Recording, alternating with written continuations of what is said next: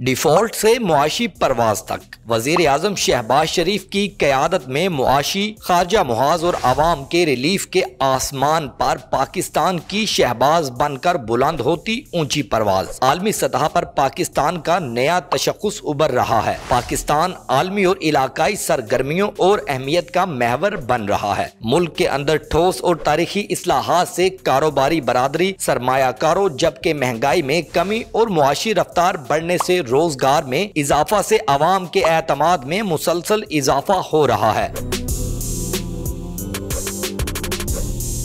पाकिस्तान के खारजा मुफादात को तकवीत मिल रही है। अकवा मुतहदा की जनरल असम्बली के उनहत्तरवें इजलास में फलस्तीन और मकबूजा जम्मू कश्मीर पर पाकिस्तान उम्मत मुसलमा का आलमी लीडर बनकर सामने आया। हुकूमत की दोनों मुहाजों पर कामयाबियाँ मुसलसल बढ़ रही हैं, जिनका एतराफ खारजा मुहाज पर मुख्तलिफ़ आलमी रहनुमाओं और वफूद की आमद, जबकि आलमी मालियाती इदारों और मुआशी माहरीन की रिपोर्ट बयान मुफाहमत की याददाश्तों और माहे की सूरत सूरत में हो रहा है। दो से चार अक्टूबर को मलेशिया के वज़ीर आज़म दातू श्री अनवर इब्राहिम ने पाकिस्तान का दौरा किया। नौ अक्टूबर को आला सतह सऊदी वफद की पाकिस्तान आमद। सऊदी सरमायाकारी के वज़ीर खालिद बिन अब्दुल अज़ीज़ अल फाले का पाकिस्तान में मुआशी असलाहत और एस आई एफ़ सी के फोरम की तारीफ़ की। ग्यारह साल बाद चीन के वज़ीर आज़म ली शियांग पाकिस्तान आ रहे हैं। पंद्रह और सोलह अक्टूबर को एस सी ओ का सरबराही इजलास इस्लामाबाद में मुनद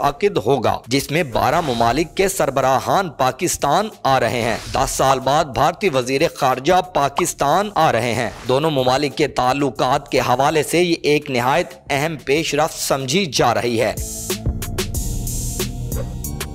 पाकिस्तान को मिलने वाले फवायद कुछ इस तरह हैं, जैसे कि पाकिस्तान और मलेशिया ने तिजारत सरमायाकारी, दिफा, ज़रात और दीगर शोबों में दो तरफा ताउन बढ़ाने पर इतफाक किया, जबकि गजा और कश्मीर समेत इलाकाई अमूर पर अपने पुख्ता मौकफ का अदा किया है। पाकिस्तान मलेशिया को सालाना दो सौ मिलियन डॉलर मालियत का हलाल गोश्त और एक लाख मेट्रिक टन बासमती चावल बरामद करेगा। मलेशिया और पाकिस्तान के दरमियान कुल तजारत एक इशारिया चार बिलियन अमरीकी डॉलर रही, जिसमें पॉम ऑयल मलबूसात टेक्सटाइल केमिकल और केमिकल पर मबनी मसनूआत और इलेक्ट्रिक और इलेक्ट्रॉनिक मसनूआत शामिल हैं। वज़ीर आज़म शहबाज शरीफ और मलेशिया के वज़ीर आज़म ने पाकिस्तानी बासमती चावल और मलेशिया को सालाना दो सौ मिलियन डॉलर का हलाल गोश्त बरामद करने के इम्कान पर तबादला ख्याल किया। मलेशिया साल दो हज़ार पच्चीस के लिए आचान का चेयरमैन मुंतखब हुआ है।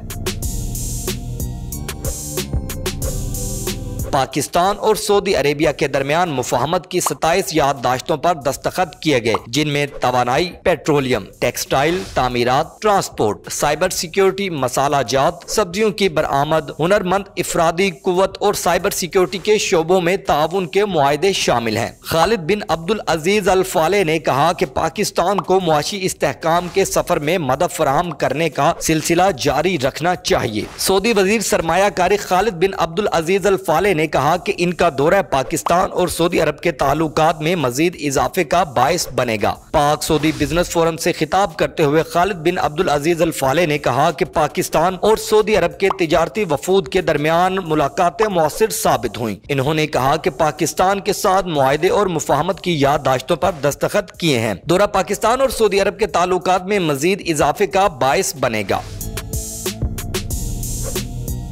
सऊदी वज़ीर सरमाकारी खालिद अब्दुल अज़ीज़ अल फाले ने कहा कि पाकिस्तान का मुआशी इस्तेकाम चाहते हैं। ये सफ़र का महज आगाज़ है। जल्द बैरक गोल्ड माहे पर दस्तखत करेंगे। पाकिस्तान और सऊदी अरब दोस्त नहीं, एक खानदान है। मुख्तसर वक्त में मुआशी बेहतरी मुतासर कन है। पाकिस्तान और सऊदी अरब के दरमियान अरबों डॉलर के सत्ताईस माहों की तफसील। तोानाई आई टी टेक्सटाइल, ज़रात, कानकुनी, इंसानी वसाइल और साइबर सिक्योरिटी समेत दीगर शोबे शामिल है। मुफाहमती याददाश्तों की मालियत दो इशारिया दो अरब डॉलर है। दो तरफा तजारत में पहले ही तकरीबन अस्सी फ़ीसद इजाफा हुआ है, जो 2019 में तीन अरब डॉलर से बढ़कर आज पाँच इशारिया चार अरब डॉलर तक पहुँच गई। कारोबार करने की आसानी पैदा की जा रही है। सुर्ख फीता खत्म किया जा रहा है, जिससे सरमायाकारी के इम्कान में मुसलसल इजाफा होगा।